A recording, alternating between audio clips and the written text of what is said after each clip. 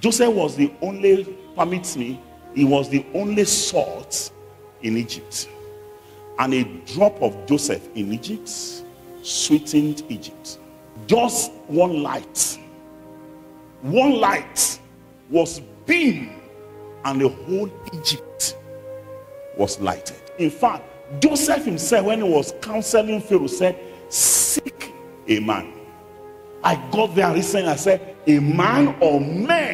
Joseph said, If you just get one man who is discreet and wise.